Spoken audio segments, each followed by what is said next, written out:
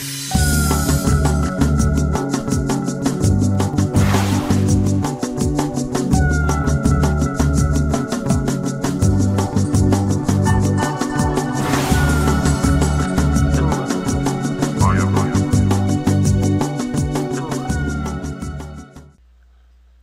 Okay, hey, I just want to show you quickly how you can use remarketing on Facebook now. It's pretty cool.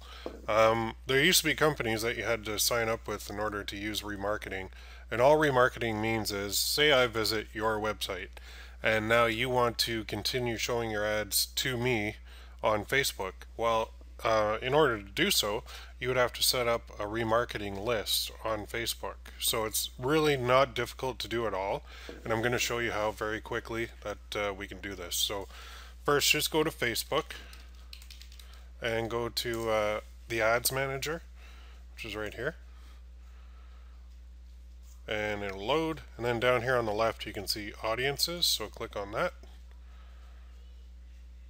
And then what we want to do is create an audience here. And down at the bottom you can see custom audience. So we'll create a custom audience from your website. Click on that. And then this is what it says. So remarketing is tactic for identifying people who took a specific action on your website.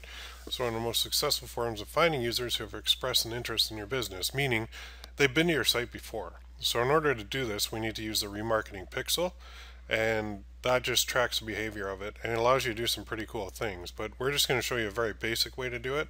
We're just going to find people that have been to your site and we're going to continue showing them ads on Facebook. You can do advanced things like if they went to your site and tried to buy something and then abandoned the cart then you could actually do campaigns dedicated to those people.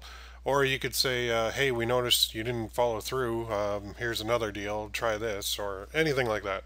Anyway uh, you have to click I've already done it so um, yours might look different, but you want to click on view the code and then you click on the checkbox. So I'll just click this and you can see the code and I just copy it. And then, so I've got this copied to my clipboard. I'll click on create audience. And for this one, I'm going to use my site.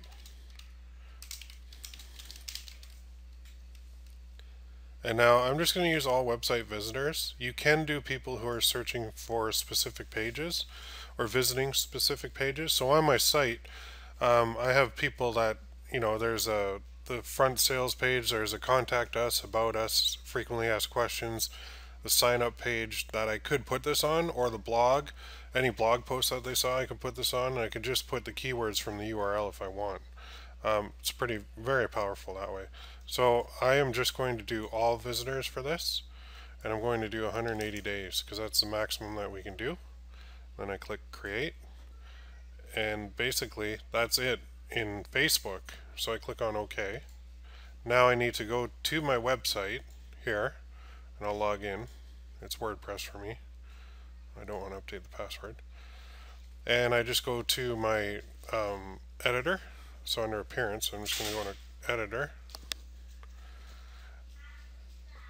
and you'll see I'm basically just going to put this in the footer.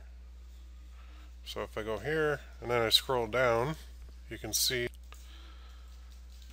So I just scroll down and then down at the bottom here I'm going to put in the actual code for it. And then so I pasted it right in here. You can see the code. And then I click update file. And now it is ready for me to use. So now if I go to my site on PPC Coach, just the main page, show you what I can do.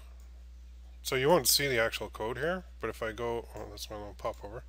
If I go like this, view page source, and then scroll down, you'll see that code is right here.